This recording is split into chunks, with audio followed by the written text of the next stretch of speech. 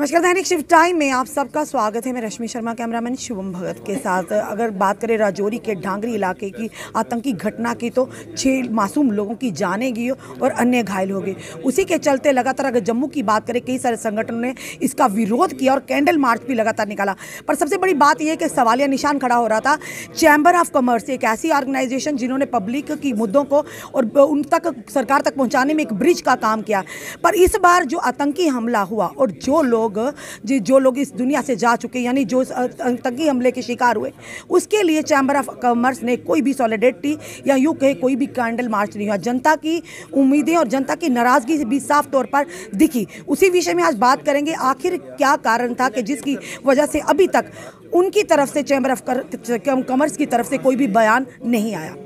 में हमारे साथ चैम्बर ऑफ़ कॉमर्स के प्रधान अरुण गुप्ता जी। अरुण गुप्ता जी ये सवाल आज आपसे करेंगे, क्योंकि लगातार आम जनता भी ये सवाल कर रही है कि इस बार जो आतंकी हमला हुआ चैम्बर ऑफ़ कॉमर्स की तरफ़ से कोई भी सॉलिडेटरी या कोई इस तरह का बयान सामने नहीं आखिर क्या वजह देखिए, दो चीज़ें हैं इसमें। एक तो है स्टेटमेंट जिस दिन, पहले दिन किलिंग हुई, अभी की मैं पहले ही बता चुका हूँ कि पाँच ऑफ़िस बेरर जो हैं, वो जम्मू में नहीं थे।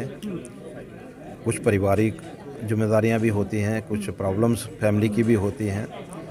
पाँच ऑफ़िस बेरर नहीं थे छठे गौरव जी यहाँ पर थे। प्रेस नोट हमने उसी दिन दे दिया था। आप पूरी प्रेस की जो भी आ, हमारी आ, प्रिंट मीडिया है उनकी अखबारें निकाल करके देखिए हमने अपनी तरफ़ से स्टेटमेंट दिया है। और जो मैंने आज यहाँ पर बोला है वही स्टेटमेंट हमने उस दिन दिया है। लेकिन अनफॉर्चुनेटली होती तो क्या आपके ऊपर सवाल उठते देखिए हमारे पे देखिए मैं एक बात बताऊँ आपको। बहुत सारे लोगों ने हमारे स्टेटमेंट को शायद नहीं पढ़ा हो। और दूसरी बात यह है कि हमें एक यकीन था क्योंकि एक किलिंग जो है वो हिंदुओं की किलिंग थी। और उसमें जो हिंदुओं की जो ऑर्गेनाइजेशंस हैं उनको आगे आना चाहिए था। तो उन लोगों को था क्या? मैं मैं मैं आपको यही कह रहा हूँ कि हम लोग जो हैं मैंने बताया कि पाँच मेंबर्स जो हैं हमारे यहाँ पर नहीं थे। गौरव जी मैं भी नहीं था? मैं भी नहीं था। गौरव जी थे थे सिविल सोसाइटी की मीटिंग में ये गए थे। इन्होंने अपनी बात जो है बड़ी क्लियर की थी कि आप जो है कुछ ना कुछ स्टेप लीजिए और हम आपके साथ हैं। लेकिन उन्होंने कोई स्टेप नहीं लिया। की अगर बात करें डांगरी में हर आ, सियासी पॉलिटिकल लोग की ऑर्गेनाइजेशन भी वहाँ पहुँची। आपकी तरफ़ से क्यों नहीं वहाँ पहुँचा गया? क्यों नहीं गया? क्योंकि पहले शुरू में कहा हमने कि आप पर लोगों को विश्वास है कि आप ब्रिज का काम करते हैं जनता और अब सरकार के बीच में। पहले ही क्लियर कर चुका हूँ कि हमारे मेंबर्स जो है मैं भी कल शाम को पहुँचा हूँ। और अभी भी तीन मेंबर जो हैं हमारे ऑफ़िस बीरर जो हैं वो बाहर हैं। कुछ घर की प्रॉब्लम्स हो सकती हैं कुछ पर्सनल प्रॉब्लम्स हो सकती हैं। लेकिन जब इस तरह की कोई प्रॉब्लम आती है उसके लिए चैम्बर खड़ा है। देखिए आपने कहा अभी आपने कहा अभी अभी आपने कहा मैंने इसीलिए आपको कहा कि उसी दायित्व का निर्वाह करने के लिए मैं आपको पहले ही एश्योर कर रहा हूँ अब हमारी टीम जो है वो डांगरी में जाएगी। जो जो कुछ हमारी टीम कर सकती है हमारी एसोसिएशंस भी हमारे साथ जाएँगी जो हम उनकी मदद कर सकेंगे उनको श्रद्धांजलि दे सकेंगे जो हमारा कर्तव्य है उसका निर्वाह जो है वो हम लोग करने वाले हैं। इसमें हमें किसी से पूछने की ज़रूरत नहीं है लेकिन कुछ समय जो है कुछ ऐसे वक्त आते हैं जब आपके घर में कोई प्रॉब्लम होती है और समाज में भी आपकी ज़रूरत होती है। तो थोड़ा सा डिले ज़रूर होता है। हम भी डिले में आए हैं। मैं भी यहाँ पर आया हूँ वापस आया हूँ। अभी कि मुझे रुकना था लेकिन इसी इशू को लेकर के मैं वापस आया हूँ।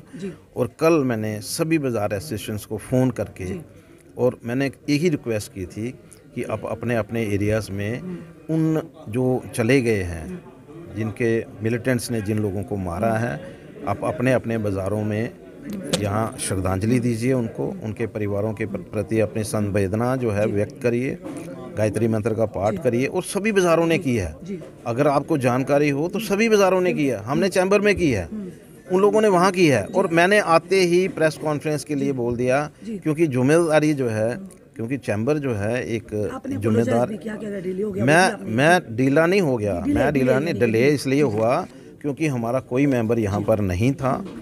ऑफ़िस बेरर यहाँ पर होते हैं। घटना को आप किस तरह से लेते हैं? क्योंकि एक बार जब एक बार धमाका होता है चार लोगों की जो फायरिंग होती है आतंकी हमला करते चार लोगों की जान जाती है। उसी जगह पर सेम स्पॉट पर सुबह एक आईडी ब्लास्ट होती है जिसमें दो मासूम बच्चों की जान देखिए कहीं ना कहीं सिक्योरिटी लैब्स कमियाँ रही ये कहीं ना कहीं सिक्योरिटी लैब्स है। हम्म। क्योंकि जिस तरह से एक दिन पहले मिलिटेंट्स आते हैं चार लोगों को मार देते हैं सिक्योरिटी फोर्सेस जो हैं उस एरिया को पूरी की पूरा उसको कोऑर्डिनेट करते हैं।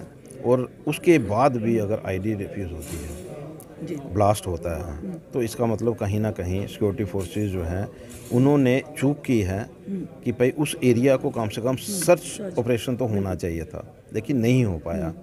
तो मेरा ये मानना है कि ये गलतियाँ करने की ज़रूरत तभी पड़ी है हमें हमने बीडीसी को इनएक्टिव किया है। अगर बीडीसी एक्टिव होते तो इस तरह की घटनाएँ जो हैं मुझे नहीं लगता है कि गाँव में कहीं हो सकती थी। आपको लगता है अगर वीडीसी मज़बूत होते उन्हें पूरी तरह से हथियार दिए जाए तो आज शायद आतंकियों की खबरें को दी बिल्कुल बिल्कुल आपने सही कहा कि बीडीसी अगर उसको स्ट्रेंथन किया जाता उनको मॉडर्न वेपन्स दिए जाते तो शायद मिलिटेंट्स उस एरिया में आने की हिम्मत ही नहीं कर पाते। लेकिन आज उनकी हिम्मत हुई और उस हिम्मत का हमें नुकसान हुआ। और हम यही चाहेंगे कि जिस तरह का इनका एक प्रोग्राम है कि हम लोग यहाँ से वीडीसी को भी रिवाइव करने जा रहे हैं उनको भी मॉडर्न जो वेपन्स जो हैं वो भी दिए जा रहे हैं यहाँ से कुछ सिक्योरिटी फोर्सेस जो हैं वहाँ पर बढ़ाने की कोशिश की जा रही है।